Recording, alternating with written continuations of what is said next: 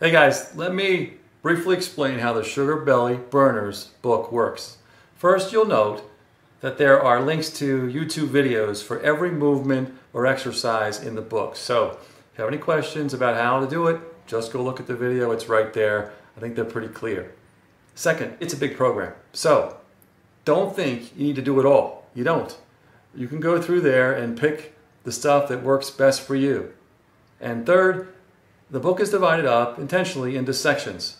There are seven sections, and I put them in what I consider to be an order of importance to you. Starting with Sugar Belly Sweat.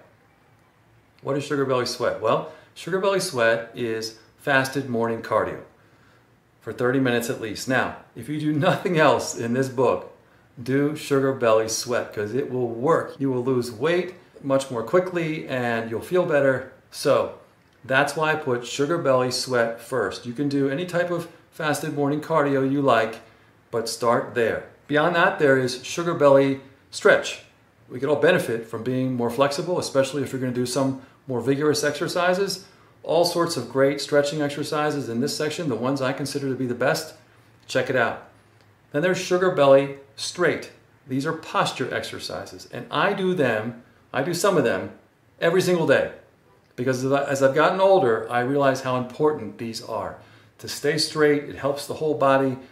You just feel better. Then there is Sugar Belly Simple. I wanted to have a section of the book, simple exercises that almost anyone can do. All right, so you don't have a lot of excuses here. These are good, solid exercises and very simple. Check them out. Beyond that, there's Sugar Belly 7. These are plank exercises, great plank exercises. Now I could have just said, here's seven plank exercises, do those. But I wanted to give you options. So I provided all kinds of plank exercises and the idea is to pick seven that you like best and do them consecutively. That will really work your core. Beyond that, there's Sugar Belly six pack. These are additional uh, ab exercises and they work great. They work your abs from different angles. Try them. Now, if you don't work the Sugar Belly Secret weight loss system and do it. maybe do a little Sugar Belly sweat, that's the fasted morning cardio, your abs are going to be covered up, okay?